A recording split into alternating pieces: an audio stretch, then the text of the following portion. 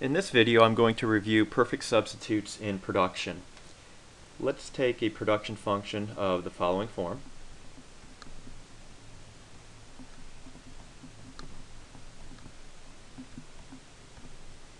And this production function of this form here will give rise to perfect substitutes.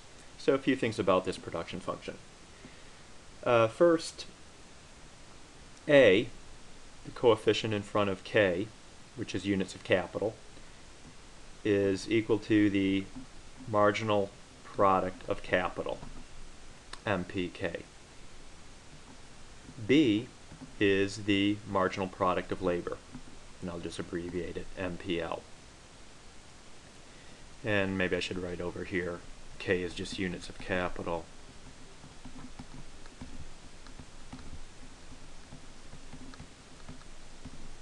L equals units of labor. And Q represents units of output.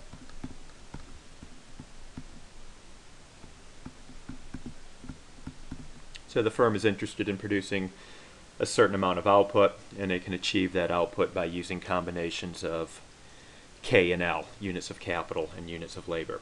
And as I was saying here, A will always be the marginal product of capital, whatever this value is here, 2, 5, 10, 20, that'll represent the marginal product of capital. And the number in front of labor, units of labor, the variable labor, will represent the marginal product of, uh, will represent the marginal product of labor. Uh, more sophisticatedly, we could write something like this. If we were to take the partial derivative of the production function with respect to capital, would just get back A, which once again is just the marginal product of capital. And the marginal product of capital is just the increase in output from using one more unit of capital. So again, A will represent the marginal product of capital, that is the increase in output the firm gets from using one more piece of capital, one more piece of machinery, for example. And it's just a partial derivative concept. And if we take the partial derivative of the output uh, function, this production function with respect to labor, we once again get back B, which is a marginal product of labor. And the marginal product of labor tells us how much more output the firm will get from hiring one more worker. And technically holding the other input constant. So if we were to hire one more unit of labor, output would go up by some amount, whatever this value B is here, and that would be the marginal product of labor. Okay, let me move down here, or clear this. Now generally what we're interested in uh, a lot of times with these problems is finding the optimal input mix. How many units of capital or labor should we use to produce a given amount of output at the lowest possible cost. So here's a basic rule of thumb.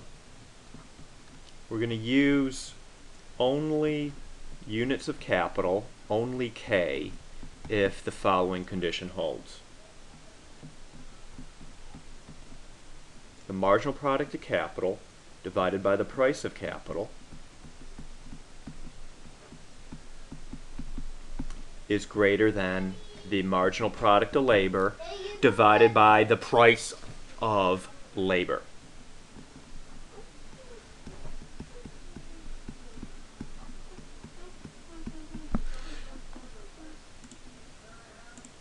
So once again, the basic rule of thumb is we're going to only use units of capital if the marginal product of capital divided by the price of capital exceeds the marginal product of labor divided by the price of labor.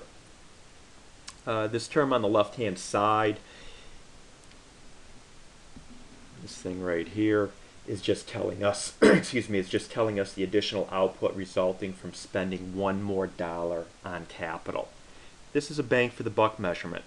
Again, this is the additional output this firm gets from spending one more dollar on capital.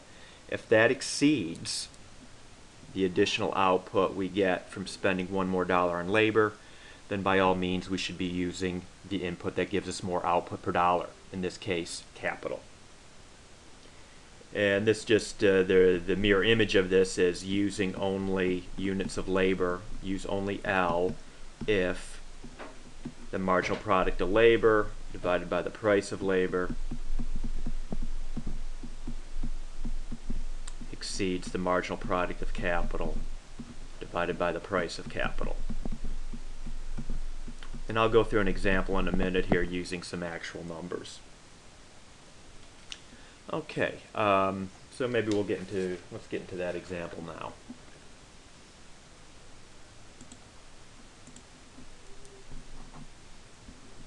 You're given a production function of the following form. Output equals 50 times units of capital, K, plus 10 times units of labor. Once again, K is units of capital. These are physical units. L is units of labor. The price of labor, call it W, equals $10. And the price of capital call it R, is $40. Every time we hire a worker, we have to pay that worker $10. Anytime we were to use one more unit of capital machinery, the firm would have to pay $40 per unit. So given this production function, from what we learned, the marginal product of capital is just going to be this coefficient in front of the k term, or 50 the way we're going to interpret that is every time we were to use one more unit of capital, holding labor fixed, the firm's output would go up by 50 units.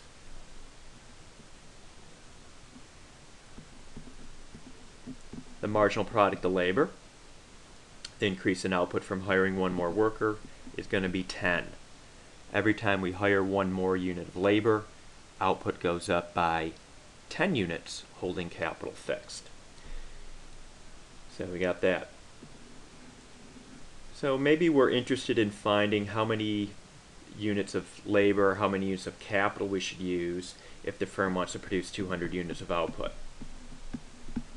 So for example, we could have a question worded something like this.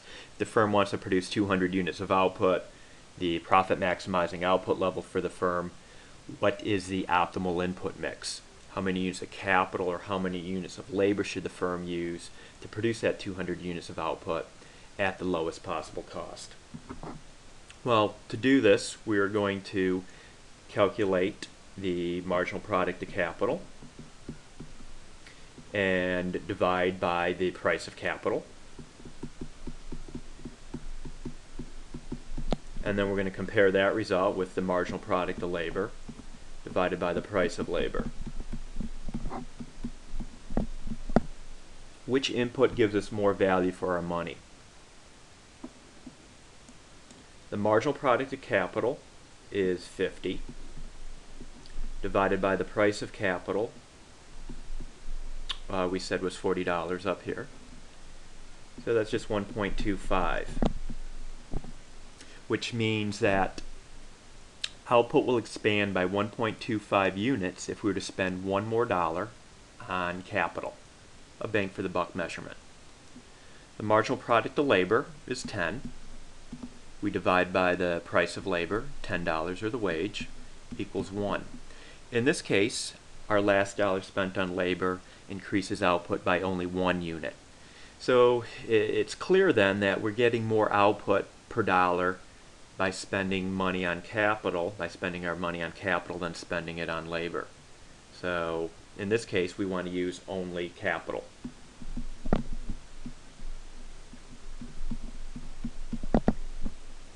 And we want to use all capital in this example to produce our 200 units of output. That will be what's cost minimizing. So how do we figure out how many units of capital exactly to hire? Well, let me just rewrite the production function.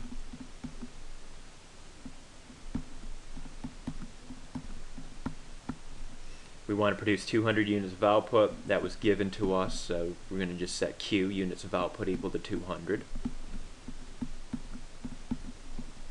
We then said we're not going to use any labor because we're always getting more output per dollar from capital than we are labor. So I'm going to zero out labor. L is just zero. We're not going to use any labor.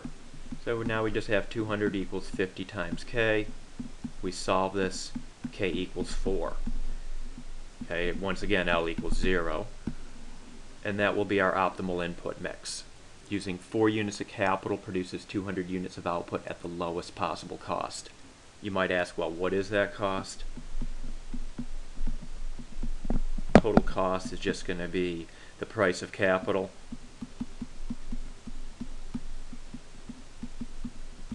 times the units of capital or K, $40 times 4, $160. It is not possible to produce 200 units of output at a cost less than $160. This is the best that the firm can do. Okay, I hope you found this video helpful.